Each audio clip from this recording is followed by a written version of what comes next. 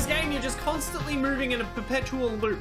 Constantly. That's the game, is what you do. You just move in a loop. Alright, I'm gonna upgrade my weapon because this does uh, plus 10 counter. So if I get hit, I hit back. So not only do I hit multiple times, if they hit me during my attack, I also get to hit twice.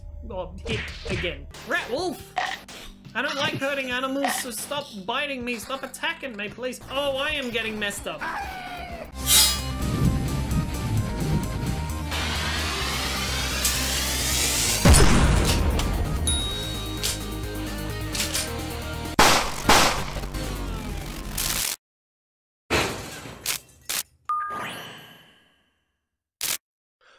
Fellow Interpeeps. I am Scarabic, or Scarabic Enterprises. Welcome to my channel. Hope you're all having a wonderful time. Let me know how you're doing in the comments. And previous Scarab was an idiot. He has no idea what the fuck was going on. He doesn't understand the game in its complexity and did not have 40 plus hours of experience in the game. Let me just quickly show you something. If I press select slot and then I go to my, my main file, I'm just gonna I'm just gonna quickly just quickly uh this this? Yeah that's a lot of stuff right? That's that's a bunch bunch of stuff which means that our current build is we, we, we've unlocked a whole ton of things. Um so moving forward I will continue where I left off in the last episode but I need you guys to understand something. There is four goddamn chapters. And I think that there might be like hidden boss or something. I don't know. There's been like updates and stuff that I haven't been up to uh, just yet. But th there is so much stuff happening. Um, and if anyone's curious and to, to know what I use now, late game, take a screenshot of this and then you'll understand that that, that is how I move forward. That is what my game plan is. Uh, anyone that knows or plays this game at all, uh, if, if you guys have any idea how to play this game, this, this is the deck you want.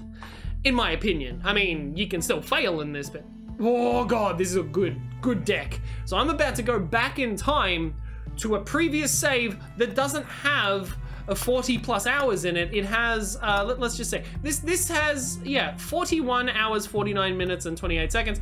This is 1 hour, 23 minutes, and 35 seconds. So I, I am literally going to, because I played this like crazy after the first video.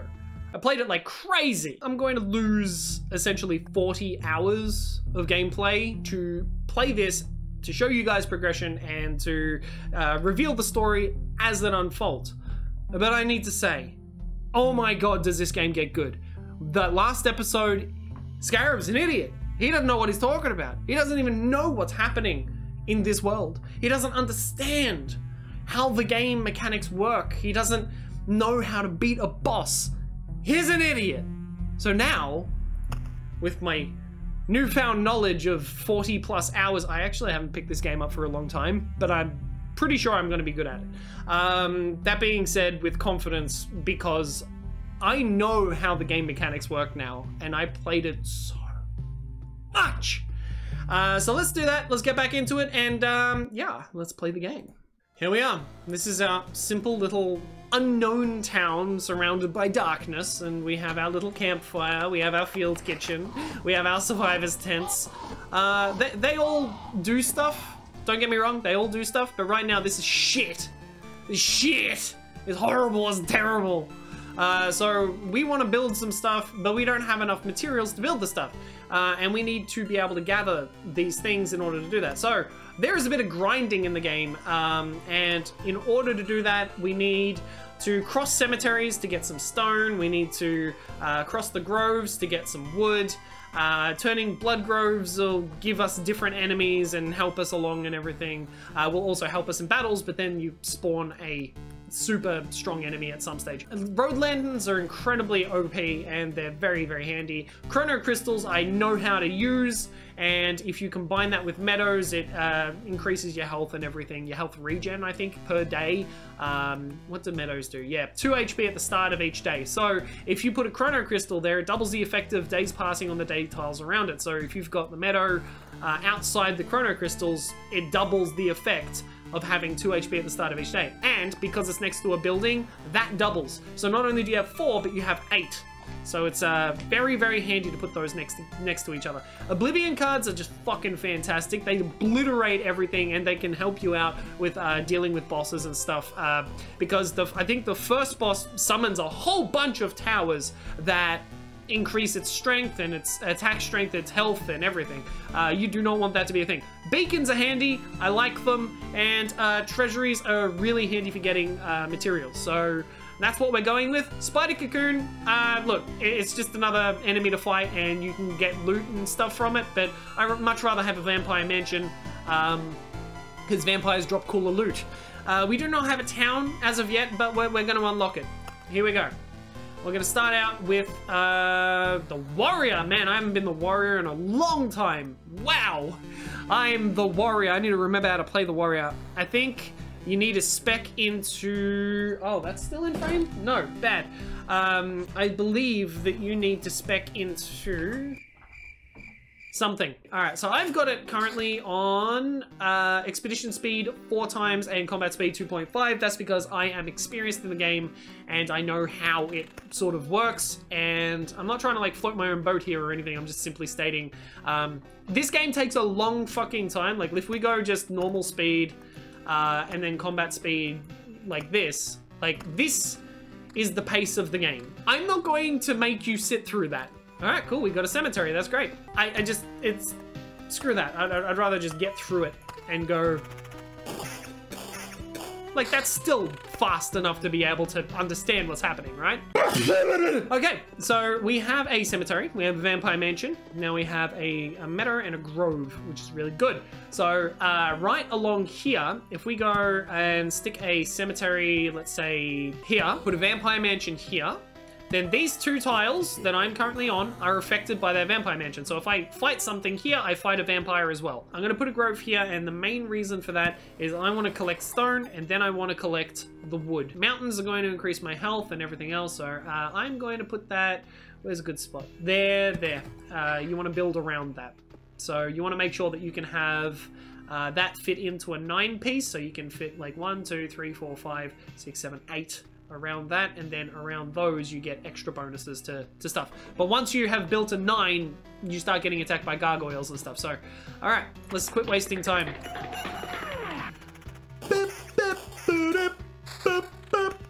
I'll take the armor. That gives me max HP and evasion. Yes, evasion. That's what I was. That's what I was going to say at the start. Uh, the best way to start this game is to spec into evasion. As a soldier, evasion is the best thing that you can do. Uh, evasion and I think deflection if, if you don't have an option.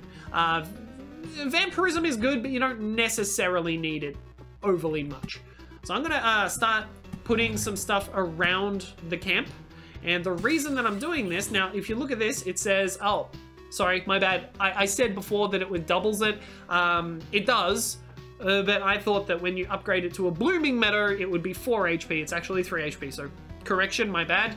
Um, but we heal 3 HP, and that's because because it's next to a chrono crystal crystal uh, it upgrades itself. So it's next to just any building it upgrades itself. And if you uh, have it next to a chrono crystal it doubles. So that's 6 hp at the start of each day and the more you put around it the better it gets. So here we are. I'm gonna put the mountain down. Why the fuck not? Let's go. Boom Alright, cool. I found a shield. That's going to give me vampirism, pure damage, and defense. Excellent. Cool. Alright, so uh, what I was saying before is being having this uh, surrounding your camp is the first thing you should do because uh, as soon as you activate the boss, which is the meter over here, map completion, when this bar is filled, the boss of this chapter will appear on the campfire tile, which is this. So you want to surround that with stuff so then you don't end up uh, empowering the bad guy.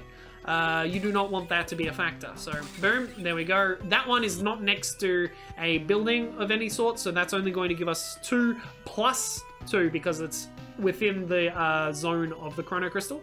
So that's good. And I can put another one here, and then that still gives me the bonus. So if I put some things on the outside of this, then these will become blooming meadows. And that's what we want. Just gonna give you a brief rundown of things before I like get really in depth. All right, cool. So I'm going to maintain my rocks. I don't need them at the moment. They're 3 HP, three more for every adjacent rock or mountain, uh, whereas mountains are 5 HP for each adjacent rock or mountain. Mountains are better. Rocks, they're shit. You can just have them run out, and then uh, you can collect. If you collect too many cards and then you have to discard some stuff, uh, you get resources from that. And the resources are here. I usually have this open, and you want to collect as much of this sort of stuff as possible to upgrade your camp at home. So what we're going to do is we're going to spec heavily into making our character better. So defense, I'll take that. Uh, Blood Grove, all right, cool. So uh, putting a Blood Grove here means that the surrounding tiles uh, are going to be affected by the Blood Grove, which attacks enemies if they have less than 15 HP, um, which is very fucking handy, but then you have to fight a super powerful enemy at the end of it uh, when they gather enough power, I guess. All right, so we have a grove here. I'll put that there, and then I'm going to put a blood grove here. Now, uh, actually, I'm going to put it here. So that means there's six tiles that is currently uh, accessible to that. So anytime we fight on any of these six tiles, uh, we are going to be protected by whatever the fuck is living in the forest. I could boost that like this. Boom, I put a rock there, and now all of those are blooming meadows. And that's a useful way to, to use your rocks. All right, here we go. We got a vampire because we're on a um, vampire tile. And we can, I'm pretty sure we can switch this out mid-combat. So, boop, there we go. Switch it out mid-combat and there, nice. All right, so I'm gonna I'm gonna add a vampire here because I want I want better loot when I fight this thing. Now vampires come in handy, uh, especially when you have a town because it can make a more successful town. Battlefield, oh, battlefields are fantastic. You want a battlefield. Uh, I'm going to put that next to my camp. Uh, every time you pass it, then there is a way to get some stuff.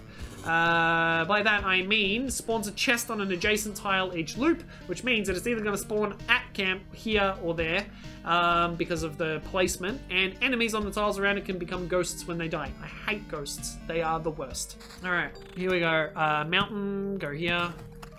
Alright, we're going to start seeing bandit camps pop up uh, if we keep placing things down, so we have to be careful with what we do. I definitely want a beacon. Now, you want to place this in a place that uh, can touch the most amount of area. One, two, three, four, five, six, seven, eight, nine. I think that nine is good. I'm going to put that there. Alright, a chest has appeared, and could place another battlefield, but you don't want to place them too close together because it creates like something really scary. Uh, not, not like super scary, but you don't want it there, trust me. You start getting attacked by things called blood clots, and those I hate uh, with a passion. So attack speed, regen per second, and evasion, yes. Uh, I spec heavily into regen at one stage, and it's good, but if you don't have enough damage output, it's useless. Uh, damage to all is fantastic. Oh, we, we do have a sword. Oh my god, I didn't realize. Alright, Road Lantern, I'm going to put that here. And the reason for that is because there is a lot of enemies that are going to spawn and collect in this area. And uh, Road Lantern actually um, reduces the amount of enemies that spawn in a location. So uh, if you can get those down, then it's really handy. Uh, the beacons uh, give you movement speed and attack speed for all units, so I think that that's including the enemies. I'm not 100% sure, but it, it, makes things happen faster, and I think it's useful for bosses and stuff as well. Uh, but I don't know, we're, we're not really in a position that can do anything about that. All right, excellent. So when we start to knock things off, it's going to start at this end. So if we want to delete anything, we can. So if I wish to delete, uh, I guess I'll do this right now. Boom, if I want to delete that, I'll go boop.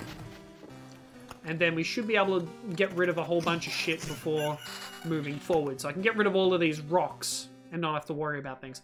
Now, having a road lantern would be very good to have in this area, but because I'm trying to get rid of some stuff, I'm just going to leave it for a bit. Oh, blue, hello. Uh, pure damage and attack speed. Ooh, that is nice. I'll take it.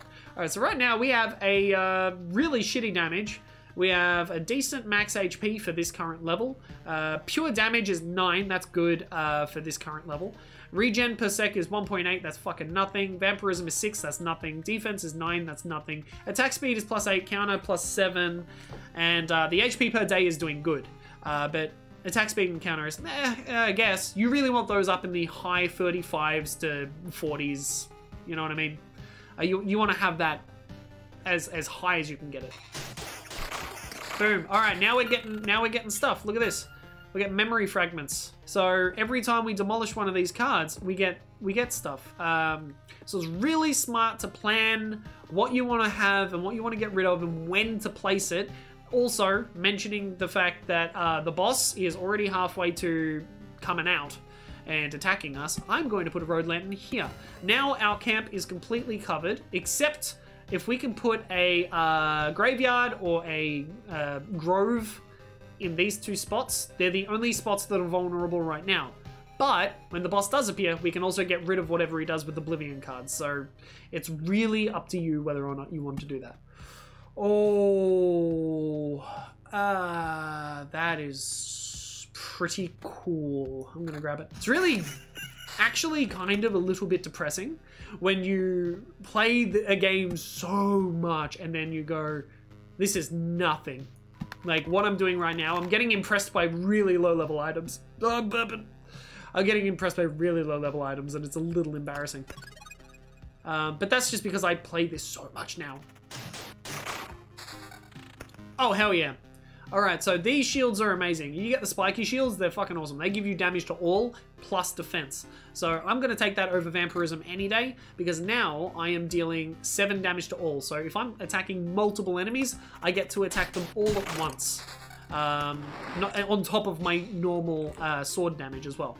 So that's very fucking handy. Uh, I need to put you here and to put you here. I haven't come across a single goddamn uh, treasury, so that's really annoying. I was kind of holding on to these for that. Damn it. Okay, battlefield. I definitely want to get a battlefield like here. So then they're not touching, because if they touch, then the blood clots appear. Oh my god, 17 evasion. Ah, I don't care what, el what, what else I had. I am using that evasion. I don't see anything spawning at the moment, but I'm still trying to be careful. I want to get rid of the rocks. Get rid of the rocks. Give me some stuff to pick up so I can get rid of the rocks. Pure damage 11, that's pretty good, but I much prefer my evasion because it's you see evade and counter pop up, and that's very handy. Oh, hello. That's more evasion. Yeah, I'm going to take that. Less damage to all, but more evasion. Uh, right now, we are currently sitting on 27%. That's up there with where we where we need to be. All right, what else can I get? Give me something good, man. Give me something good. That's not good, actually. I haven't had a look. Better. Better evasion. I'll take it. It's mine. Uh, counter vampirism. Uh, yeah, yeah, yeah, uh, I guess. Counter and vampirism. Okay, that increases my counter, so I'll do it. I get more health anyway. Finally, I get a treasury. Oh my god, I've been waiting for you. Alright, good. I'm gonna put you there. Um, and I can put anything behind it, by the way. Alright, we got another treasury, which is good. We can stick that there, and then we can build things around it in between. So if I put a meadow right here, uh, I get double the bonus of that. Excellent. Uh, now, I could put rocks, mountains, and meadows around these and get plenty of uh, plenty of stuff. I usually just put meadows though, so I'm going to build meadows uh, connecting these. And the reason I'm not expanding uh, this way or this way is because if I get another treasury, I can link it up and then do another shortcut. Nice. All right, great. The cemetery. Perfect. I'll put that there, and then that area is now safe. Um, safe from the boss. Like when he comes in, he will not have anything to protect him, uh, which is good. That means we can pretty, we, we could push to the end now, but I would like to have a little bit more evasion before uh, actually fighting the boss. So I might do a couple more rounds. I don't know. Uh, I mean, fighting the boss on loop like six for me is pretty usual. Like, I mean, I, I can I can get to that. Oh, that gives me evasion. There we go, boom. Uh, I have 35 evasion. I would be happy to fight the boss now, but I don't have enough health for that right now, so it might not be worth it. Is there anything I need to get rid of right now? I don't think so. But as soon as I start building more things, I will need to. So I'm, I'm going to do that. Boop. Boop. And a meadow. There. And then, fuck it, I'll just give you a mountain. Alright, did I accidentally make anything happen? No? Alright, cool. Uh, boss is close, but not too close. Alright, I'm about to pass that way, so I'm going to put that there. Alright, I get to place down a meadow. I get to place down a rock. I get to place down another rock. And now these are here. Now these things are annoying because they spawn a gargoyle every three days. So, I can get rid of the gargoyle. And now it's gone. I don't have to worry about it. Uh, there is one more though, so if I can get rid of that, that'd be great. But the, um, it sounds like the boss is about to appear. So we are entering late game for this. Okay, I am about to spawn a boss. What am I gonna do? I want a meadow. I want a meadow. And probably as many rocks as I can find. Yep. There we go. Spawn the boss. Alright. Ooh, picked up a bunch of stuff there. Alright, so if you see this, the incursion radiates the powerful energy that devours space and time itself. It is time to face the destiny of this world. Um, he doesn't have anything around him because I have not given him any space to have the ability to do that. So I, I am very happy that I managed to get that done in time.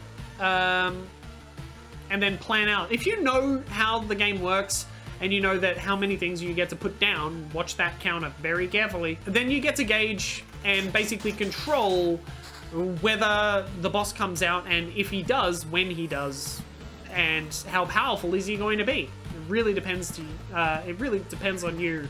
All right, here we go. I'm going to stay. I am not afraid. Boss time. How is it possible? That's right, you didn't devour me like the rest of the world! Haven't I? You really don't think so? What are you talking about? I'm standing right in front of you! I consumed all of your reality. Its every element now rests in a separate pocket dimension.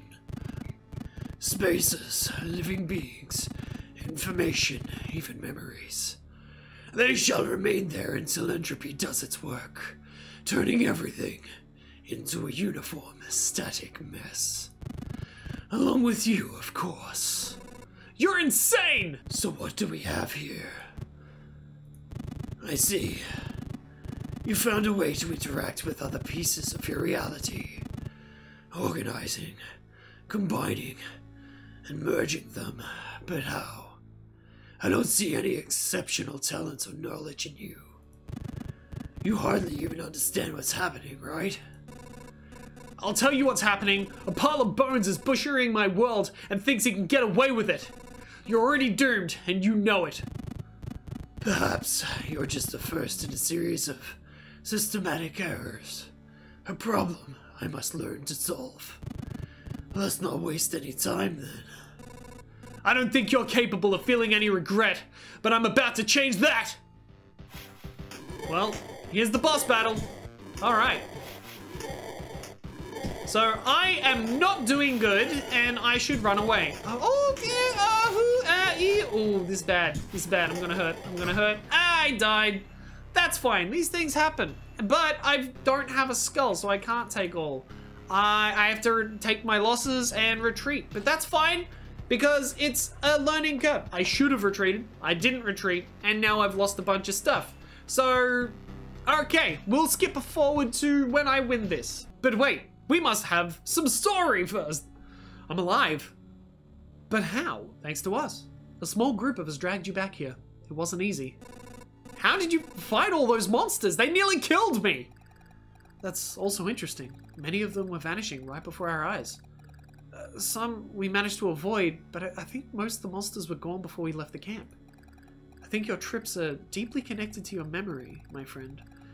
It all fades away as soon as you space out for long enough. So that's a whole part of this story as we unravel things. Uh, time is splitting. The world is being devoured and deleted, but memories affect what happens. And that's why we collect memory fragments as well. Um, and we need to collect 10 of those to complete a, a we need 10 of the memory fragments to form a complete book of memories. Now, I'm not 100% certain what that does, but it gives us more more things to do. Um, but as you remember things, as you expand your world, uh, things get to be a bit more realized. You get to sort of learn more about the law of what used to be or what was or what is. And there's, this whole thing in this game. This whole thing that's just crazy. It's amazing. Anyway, I'm gonna skip ahead to a boss battle. So, um, so Stina, feel free to fast forward through all of this.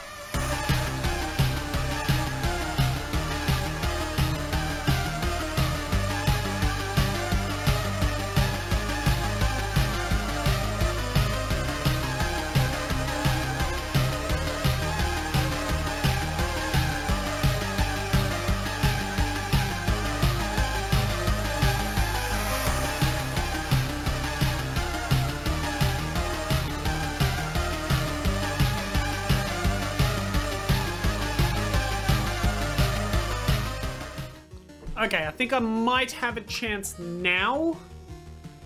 Because I have 52 evasion and a decent amount of damage. I should be able to beat the boss. I hope.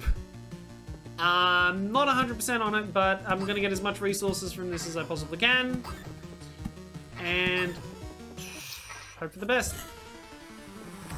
There's a couple of fights between me and there, but Again, I've surrounded my uh, camp, so it's fine. There we go. Give me my supplies. Thank you. All right, here we go. I'm going to just uh, smash this down, attack these skeletons, and hope, hope that I have enough health to be able to do anything. Oh god. Let's go. Half health. Let's see if we can do it.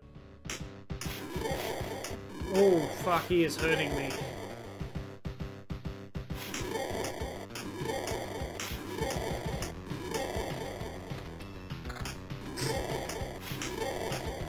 Nope. God damn! So, I might not have been able to beat the boss this episode, but hey, look, I'm able to upgrade and I'll be able to show you guys a little bit of stuff. So, uh, we have a gymnasium, which unlocks an ability to gain special traits for killing enough enemies during an expedition. Oh my god, that is very handy.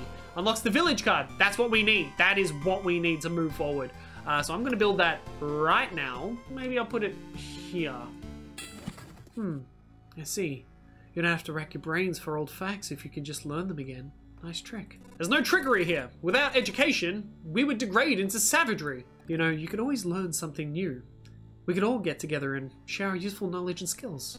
Nah, I already know all I need. I'll, I'll leave lessons to the kids. And here's your first lesson. Learn to enjoy learning. That would make life easier for you and me both. Fair enough. I mean, I can't really blame her for, for saying that, because yeah, this character that we're playing is kind of just a prick. just a little bit. Um, can we build anything else? Oh, a herbalist hut. All right, so potions. This unlocks potions, and that is very fucking useful, I will say. Uh, taking potions with you means you will survive a little bit longer. You start to, your character automatically takes swigs of it. Uh, so next episode, we'll be able to at least have a little bit of health you know what I mean? Like every time uh, we take damage, we can actually go and it's fine. Uh, but it's not in your control. It's when the character feels like he wants to take a potion. So uh, th th there is an upside and a downside to it. But that being said, you live a little bit longer. It's a miracle we can find some fertile soil. And by a miracle, saved some seeds of precious healing herbs. But the real miracle is that all these healing poultices and balms still have some effect. We already lost so many people because of the cataclysm. It would not be nice to lose more to any disease, and these potions can help you as well. Take a vial or two on your trip, and your chances of getting back in one piece will be much higher. That's my old lady voice. I don't know what to do with it.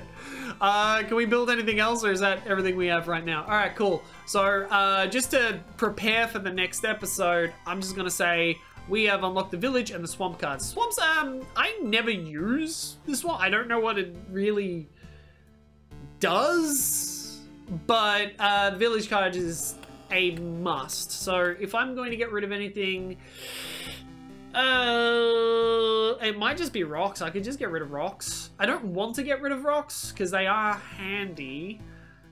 But if I get rid of rocks, then we can actually start to accomplish a lot more. So I'm gonna do that. We'll get rid of rocks. I want mountain. Hang on, do, do I have to have both? Wait, are you sta- Wait, hang on a second. Wait, what? Okay, we'll get rid of Bloodgrove for now. We'll get rid of Bloodgrove and then we'll keep rocks and mountains for some reason. I have no idea what's going on with that. But, uh, yeah, we'll keep that. We'll confirm. And then I'll see you guys in the next episode.